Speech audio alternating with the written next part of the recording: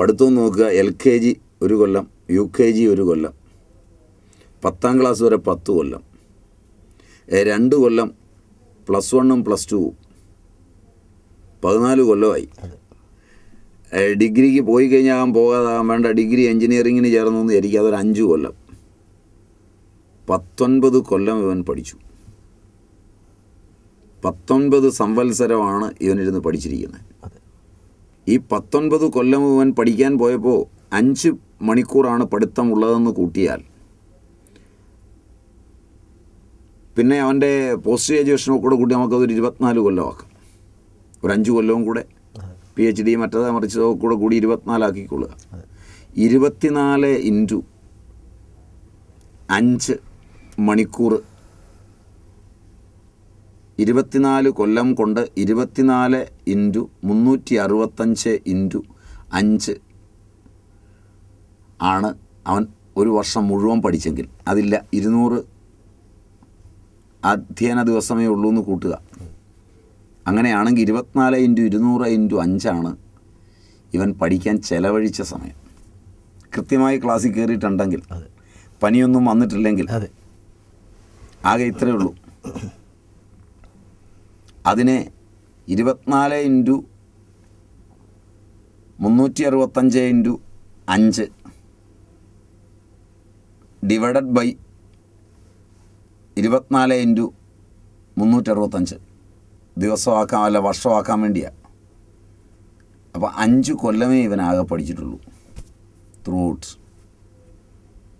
എന്നിട്ട് ഈ പഠിച്ചതിൽ എത്ര ഇവന്റെ തലയിലുണ്ട്? വലിയ വലിയ ഇന്റലിജൻസിയൊക്കെ ഈ വാചകം അടിക്കുമ്പോൾ ഇവന്റെ തലയിൽ എത്രയുണ്ട്? പരീക്ഷ എഴുതിയതിന്റെ പിറ്റേ ദിവസം ഇവൻ ഇതെല്ലാം മറന്നു. കാരണം പഠിക്കാൻ പോകുമ്പോഴുള്ള സിനിമാ കഥകളൊക്കെ ഇവന്റെ തലയിലുണ്ട്. ഇവൻ കണ്ട കാഴ്ചകളൊക്കെ ഉണ്ട്.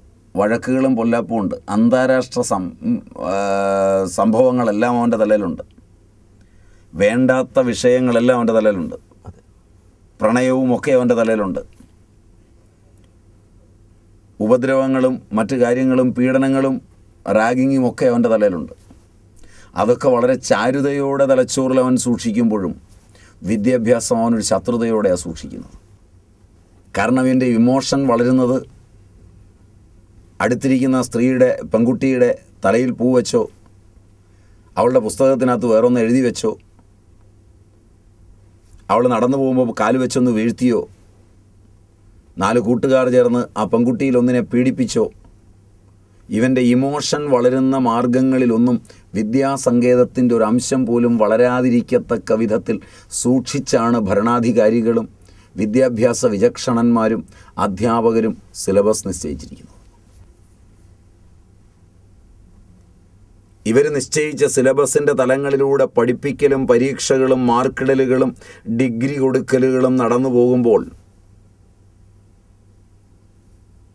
ആകെ ഇരുപത്തിനാല് കൊല്ലം അവൻ പഠിക്കുന്നതിലെ പത്തൊൻപത് സംവത്സരങ്ങൾ ഉറക്കവും ഉണർവുമായി അവന്റെ വികാരങ്ങൾ മേച്ച് നടക്കുമ്പോൾ അഞ്ച് കൊല്ലം അവൻ ഹിംസിക്കപ്പെട്ടു വന്നിരിക്കുന്നതായി തോന്നുന്ന വിദ്യാഭ്യാസത്തോട് വെറുപ്പോടെ ഇറങ്ങുമ്പോൾ ഇവനെ നാളെ ഇവൻ പഠിച്ച വിദ്യയ്ക്ക് പ്രയോജനപ്രദമാകുമാറോ വിദ്യയെ ഉത്തേജിപ്പിക്കുമാറോ ലോക നന്മയ്ക്ക് ഉതകുമാറോ അവന് കീർത്തിയും ആനന്ദവും കിട്ടുമാറോ ആ വിദ്യ പ്രയോജനപ്പെടില്ല എന്ന് അറിയുമ്പോഴാണ് മൂല്യവും നിലവാരവും എന്താണെന്ന് നമുക്ക് ബോധ്യമാവുക.